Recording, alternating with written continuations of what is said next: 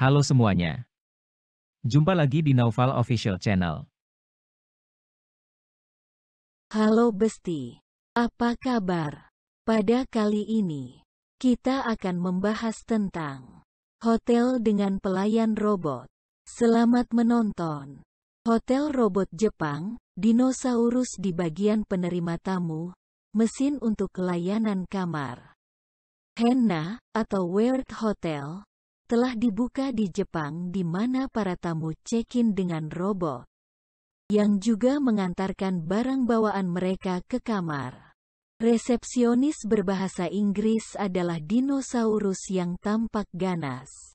Dan yang berbicara bahasa Jepang adalah humanoid wanita dengan bulu mata yang berkedip.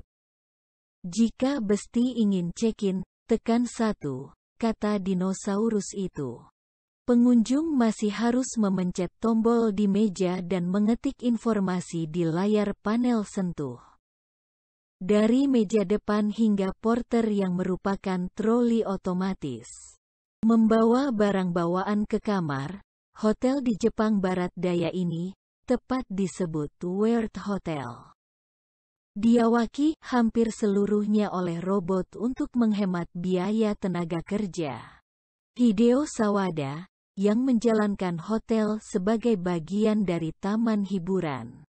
Menegaskan penggunaan robot bukanlah tipu muslihat tetapi upaya serius untuk menggunakan teknologi dan mencapai efisiensi. Hotel Henna, demikian sebutannya dalam bahasa Jepang. Diperlihatkan kepada wartawan pada Rabu, lengkap dengan demonstrasi robot. Sebelum dibuka pada Jumat, fitur lainnya adalah teknologi pengenalan wajah, jadi alih-alih kunci elektronik standar. Gambar digital wajah tamu didaftarkan saat check-in. Alasannya, robot tidak pandai menemukan kunci jika orang kehilangannya. Lengan robot raksasa, biasanya terlihat di pabrik, duduk di tempat kaca di lobi.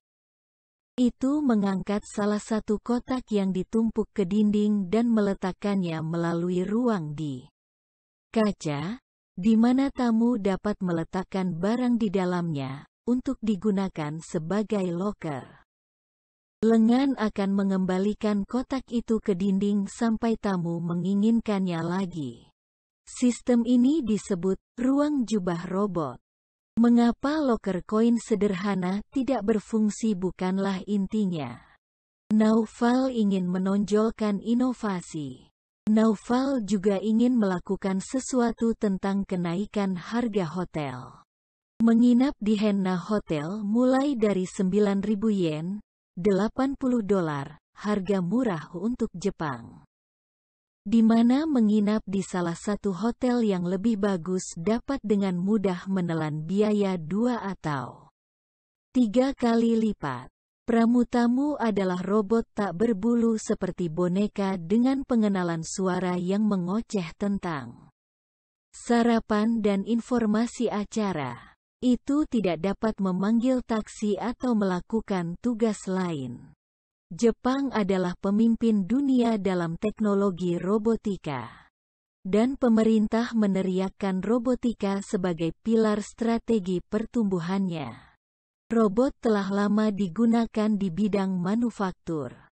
Namun minat juga tinggi untuk mengeksplorasi potensi robot dalam interaksi manusia. Termasuk membantu merawat orang tua.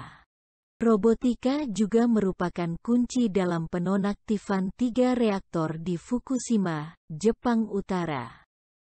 Yang mengalami kehancuran pada 2011, dalam bencana nuklir terburuk sejak Chernobyl.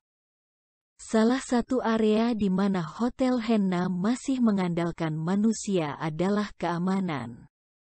Itu dihiasi dengan kamera keamanan dan orang-orang nyata menonton semuanya melalui monitor untuk memastikan para tamu aman dan tidak ada yang kabur dengan robot mahal. Dan mereka masih belum bisa membereskan tempat tidur.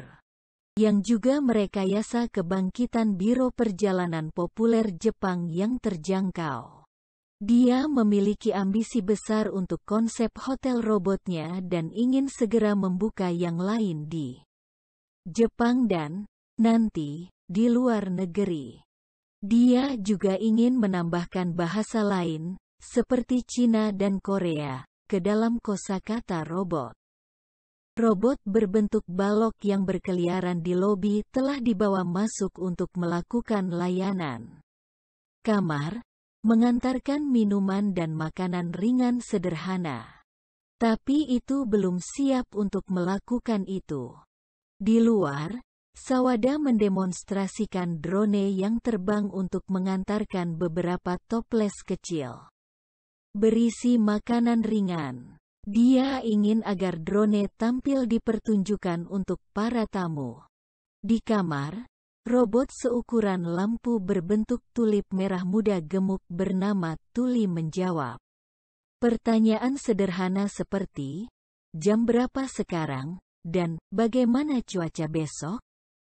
Besti juga dapat mengaturnya untuk menyalakan atau mematikan lampu kamar. Tidak ada sakelar di dinding. Sawada menjaga hotel setengah terisi selama beberapa minggu pertama untuk memastikan tidak ada yang salah. Dia juga membatalkan pada menit terakhir menginap semalam yang direncanakan untuk media. Robot belum siap. Sekian. Dan terima kasih banyak yang telah menonton sampai selesai. Semoga Indonesia bisa punya hotel seperti itu juga. Amin. Jangan lupa untuk subscribe, like dan share videonya.